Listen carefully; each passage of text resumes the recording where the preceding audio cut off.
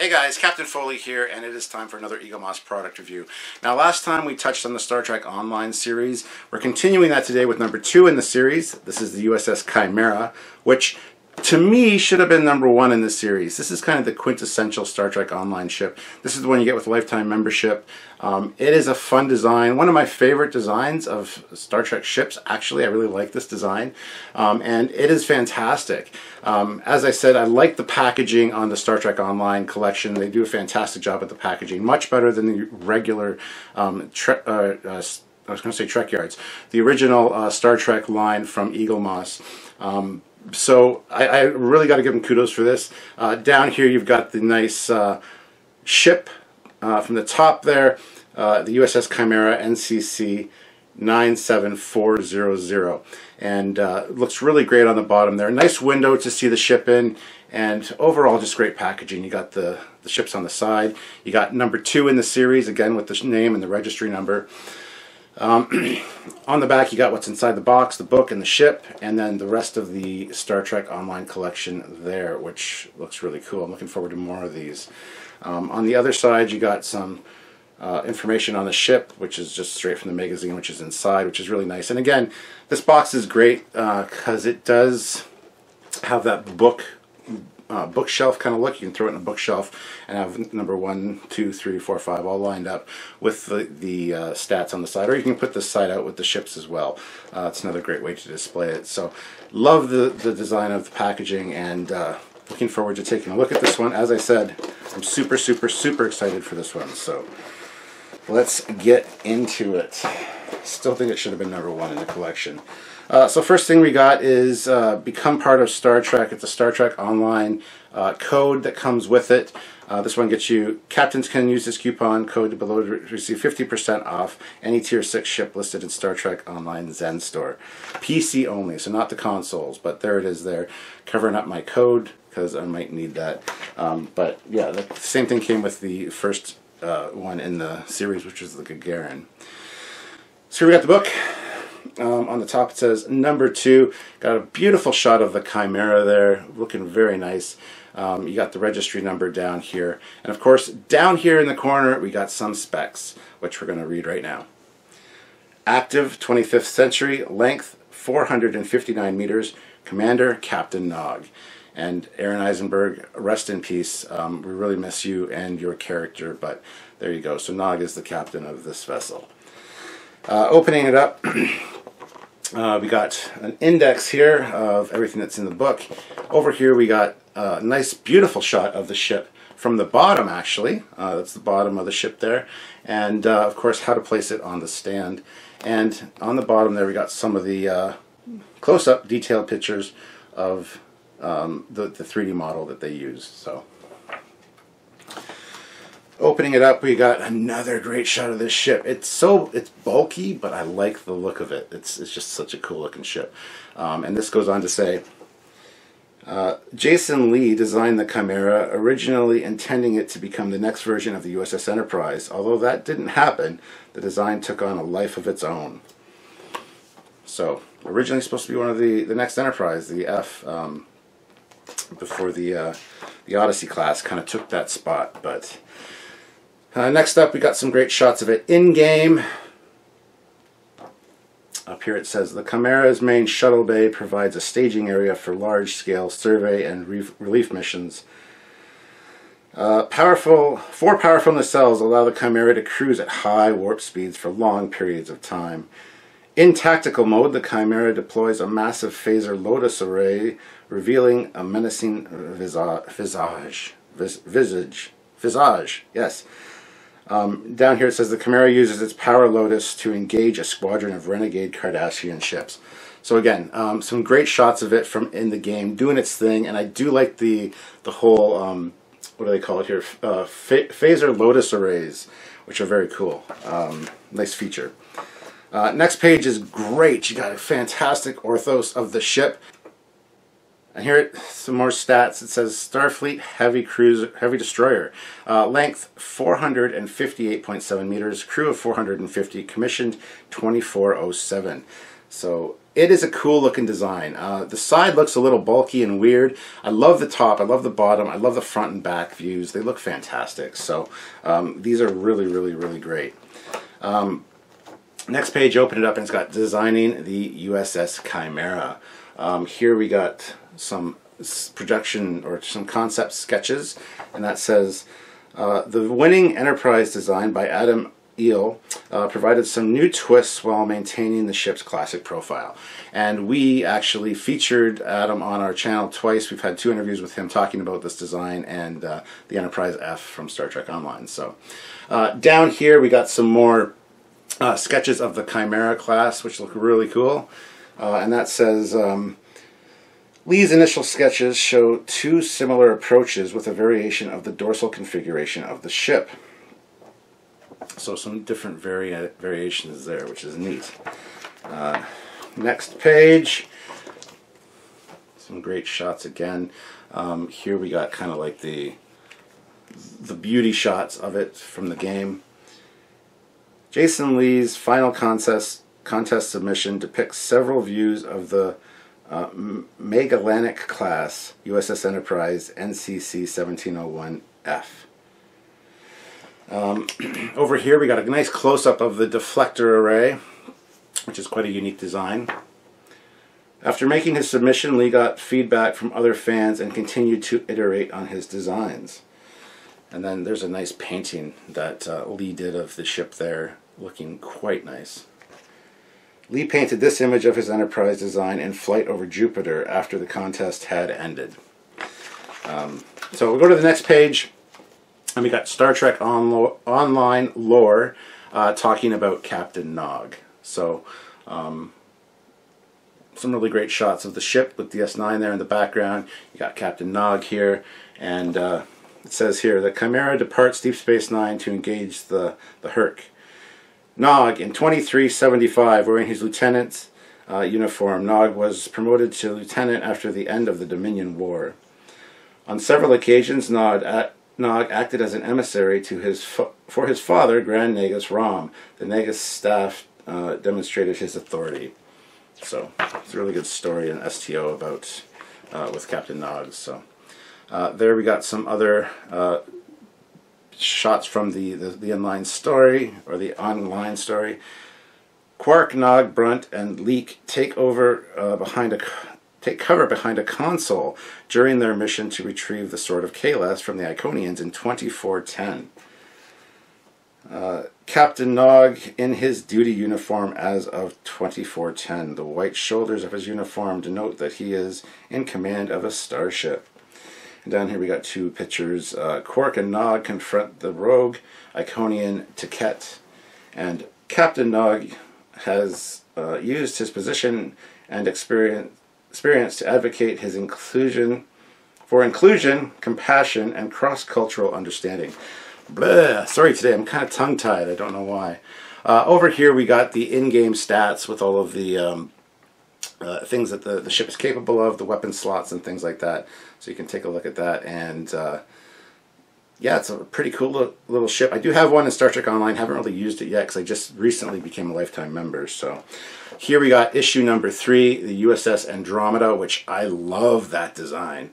Uh, a nice take on the Galaxy class design, but it is so cool looking. I'm so looking forward to getting that one. Uh, down here we got more of just Eaglemoss Shop um, which Trekyards code discount or discount code Trekyards 10 to save yourself some money. So check that out. Click the link down below to go there though.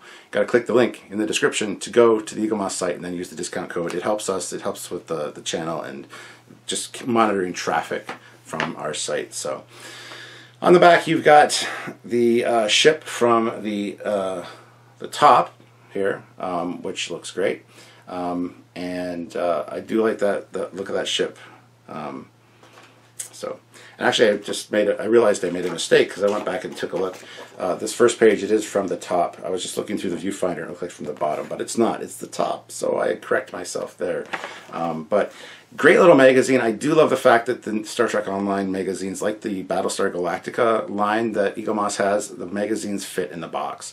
That's one of the things that I don't like about the regular line. The boxes are too plain looking, and the magazines are huge and they're separate. And uh, I haven't got a lot of the magazines because they ship separately sometimes, or they don't have them when they send me the ship. Just kind of a pain. Whereas this, you know, they're going to be included in the packaging. So uh, speaking of, we'll get to the packaging. Again, nice little box tray that it comes in. And then it's just the standard Eaglemoss plastic um, to hold the ship um, in there. So let us take a look. Woo, woo. My first time taking it out of the box. So there it is in all its glory. Again, it's the standard uh, line size. It's kind of small. It's about size, smaller than my hand, but uh, as you can see, it's got a lot of a nice, a lot of nice attention to detail, and some really cool, um, really cool things on it. I like the deflector. So let's take a look at the model real quick here. Uh, looking at the, the top of it, you got the, the name USS Chimera and then NCC 97400. Um, you also got some um, cut in line details, which are really nice. Uh, kind of add depth and dimensionality to it. Uh, lots of windows along the top, little white windows. And as I've said before, I like the color schemes on these. This is like a dark gray, almost like a bluish gray, um, but with um, some black highlights and accents, which look really, really great. I do like the STO ships for that. Um, along the side, you can see you got a nice black stripe with, again, some windows in there and some escape pods looking really, really nice. Uh, going up to the bridge, um, lots of bulk and detail on the bridge. I love that it's kind of inset, but it's still on top of the saucer. Uh, definitely works. And there's some nice detailing there as well. Um, escape pods, and again, that dark gray stripe kind of down the, the, the, dorsal there looks really, really great. Um, and then some red striping back on the top of the impulse engines.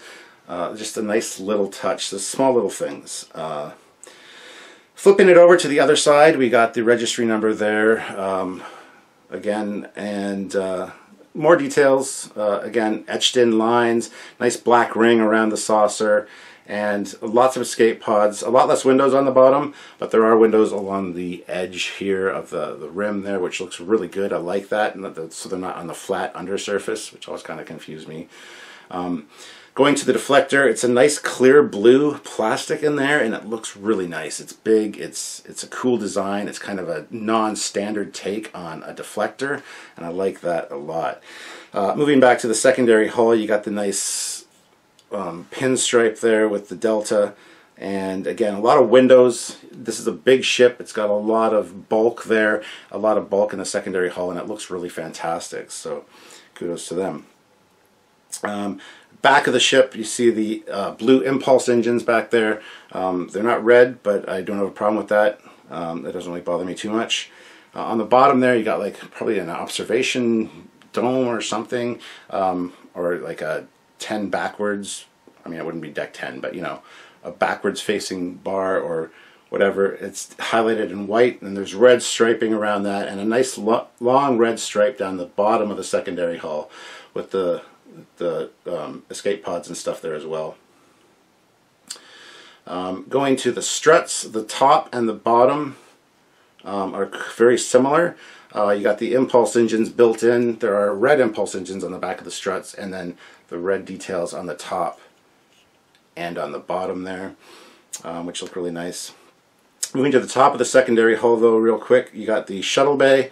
The shuttle bay is right in there at the back and you got some nice shuttle bay markings there in yellow and red, which again look really great. Like this is quite a nice model. Uh, moving to the nacelles from the side, you got, uh, I, I, do love the four nacelle look on this. Yeah, it still looks like a double nacelle ship from a distance, which is cool. Uh, you've got the inset details there with the round and the um, red dots there, which hold the two nacelles together, and uh, it just looks great. Uh, the nacelles, again, are very cool. Uh, the front of each of them has um, red clear plastic in there for the Bussard collectors. And uh, again, the really cool details on the side um, with the darker black or dark gray um, striping or accents, I guess. On the top, you've got the the Delta again with the uh, Federation banner, the uh, the stripe, and on there it does say very small, but it has USS Chimera and the registry number again on each nacelle at the top there. It's very hard to read because it is quite small because this is a large ship, uh, but that's cool. Um, the the grills are really nice. The the warp grills are they are they are clear plastic. You hold them up to the light, and there's actually this element in here uh, does glow, and so do the back ones. They're clear plastic uh, or blue colored clear plastic, but they have white um, striping on them, which really adds to the detail, and it looks really fantastic behind a light source. So, so that's it. So there you go guys, that is the Chimera. It is time to go take a look at it on the stand and finish up this video. So hopefully you guys enjoyed this. Like I said, this is a, one of my favorite ship designs and very, very neat. Um, looking forward to uh, playing this more in the game now that I am a lifetime member and actually have one because that's about the only way you can get one. Um, so anyway, let's head on over to the stand and Lotus Blossom Phaser Array it up. I don't, I don't think we can do that, but let's go over there anyway. So there we go. Alright guys, so here she is on the stand, and you can see the real attention to detail here. Um, lots of fantastic little elements that just all come together. And uh, it just looks really, really, really good. There's so much small little details on it, but they just all pop. And those are the glowing elements on the side there. You can actually see through those um, which look really good. The stand, um, I thought initially it went uh, locked on there, but it doesn't. It goes here, um, which is great. So if you put it on a lower shelf, it looks beautiful. This has got such a cool, unique design to it that it just really pops and looks beautiful on a low, low level shelf. You put it on an eye level shelf. This is kind of where I'm not a huge fan of the look of it. Um, it looks a little bit bulky, like a almost like a megamouth shark or some kind of whale. It just seems a little odd, but that doesn't take away from the overall coolness of this model and this ship. It is just such a neat looking design.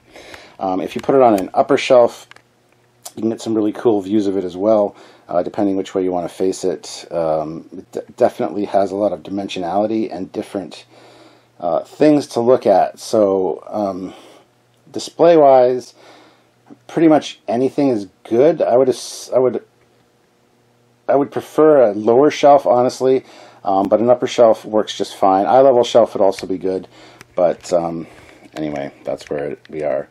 So guys, if you're interested in picking this thing up, by all means, click the link down in the description below. As I said, it helps um, keep a track of the traffic going there and where it's coming from, and it shows you that shows Eaglemoss that you guys love Trekyards and are going through that way. Um, and you can pick this ship up and anything else in the store by using the discount code TrekYards10, which will save you 10% off anything in the store, including XLs, uh, Discovery line, STO line, regular ships, the only thing the code will not work on is pre-orders, so keep that in mind, guys. You can also buy, of course, Orville ships, Battlestar Galactica, whatever, with the Trekyards code. Uh, and like I said, that is Trekyards 10. So click the links down below to get to where you need to go and pick this thing up for yourself. So Anyway, guys, that is it. Hope you enjoyed this episode. If you did, please make sure to click that like button. Don't forget to subscribe to both channels, both Trekyards and the Captain Foley personal channel.